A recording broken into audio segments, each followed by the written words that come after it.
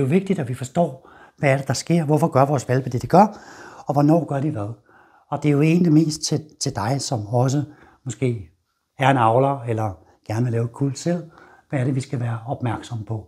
Og det er det, der er rigtig vigtigt. Hvorfor er det, vores valpe gør det, de gør? Se, så er vi nået til hundens udviklingsfaser, øh, hvor at vi har noget, der hedder en overgangsfase. Øh, og det er inden man kommer ind i prægningsfasen. Derfor hedder den overgang.